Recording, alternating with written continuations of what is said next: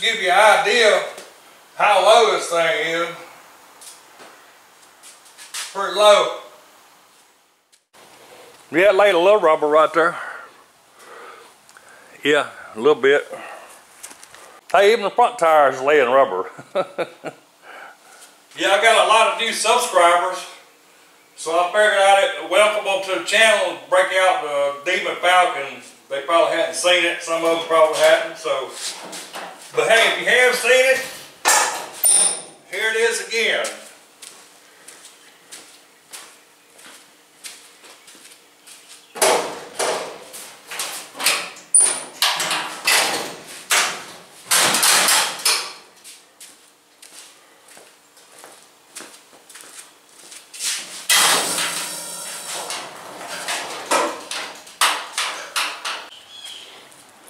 Yeah, it's been in the shed for a while, collecting dust and dirt.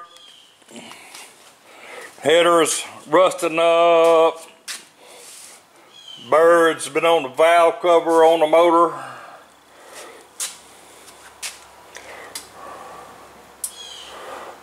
But it runs, still runs. So yeah, I wasn't gonna do a video, does it still run? I already done that and uh, yeah, fact checkers said, yeah, it still runs.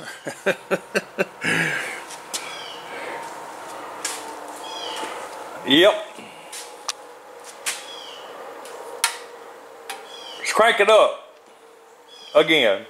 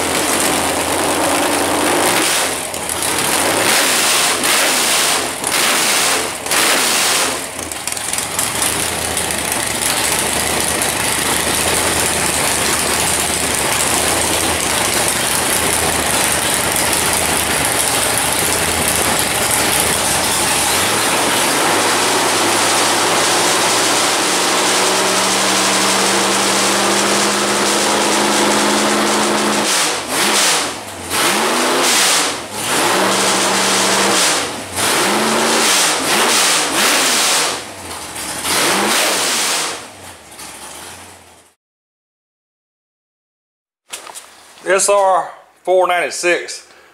If you to know what the SR stands for, Super Rat. and the 496 is a 496 stroker, big block stroker motor. Driver, the exorcist. Because it's a demon, so we got to exercise it every now and then yeah, anyway, I just wanted to show this one more time for my new subscribers. I got a lot of new subscribers lately, and uh, so yeah, this is uh, welcoming my new subscribers. I noticed a little bit of vapor coming out of the oil breather. I mean, this thing's been sitting up for since the last video, been a few months. Uh, it's probably got, it wasn't smoke coming out of it, steam, so it's probably got a little moisture and that motor from sitting up so long, I think, get thinking that's what it is. Got a, uh, got a couple of oil leaks. So, in the near future, I'm gonna pull it up in here